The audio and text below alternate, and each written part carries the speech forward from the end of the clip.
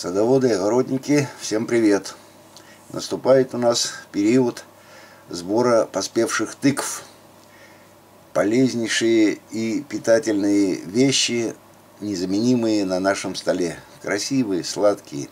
Возникает вопрос, а как их сохранить на зиму?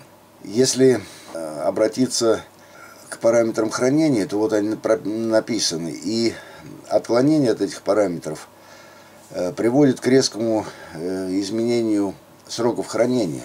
То есть тыквы начинают загнивать, сохнуть, ну, разные вещи.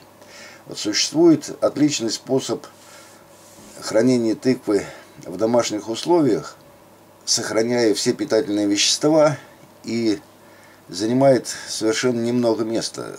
Можно, конечно, хранить и э, тыквы целиком, попробовать, но мы пробовали, у нас особо не получалось. Вот мы готовим порционные объемы. На этом я остановлюсь. Для чего мы готовим эти порционные объемы? Вот можно разложить просто в пакеты. Здесь у нас по 300 грамм разложено. И таким образом заморозить. Но самый лучший способ это замораживание с помощью вакууматора.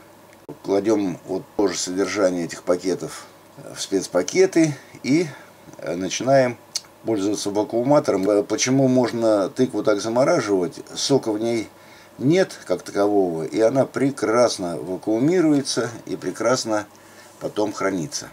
Сейчас мы на этом остановимся.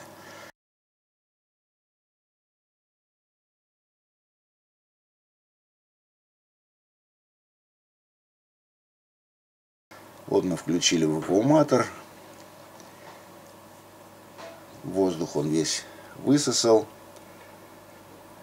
И включается, вот как вы заметили, красная кнопка, это пакет запаивается.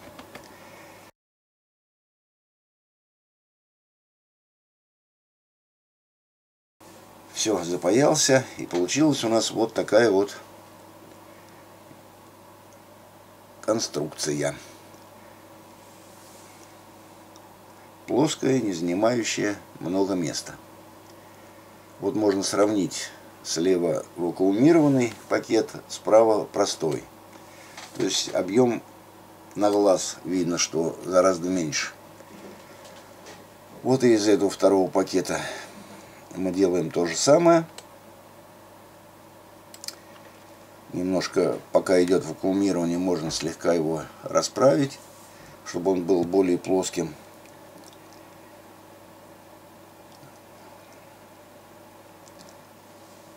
И в конце концов у нас получается второй пакетик. Это все делается очень быстро и просто.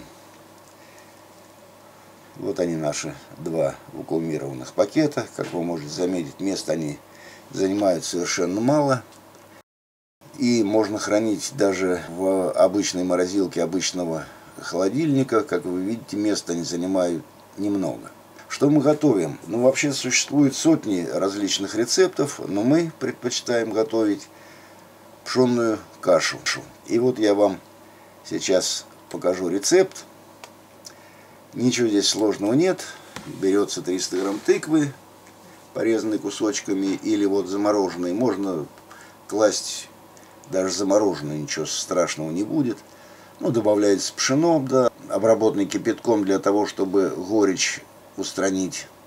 Добавляется полстакана риса, 400 мл молока, сливочное масло немножко, это кому как нравится. Соль, сахар по вкусу, можно добавить горсть изюма и варить в мультиварке. Это прекрасно и вкусно, и быстро. Блюдо замечательное. На этом я с вами прощаюсь. Подписывайтесь на мой канал, ставьте лайки и до свидания.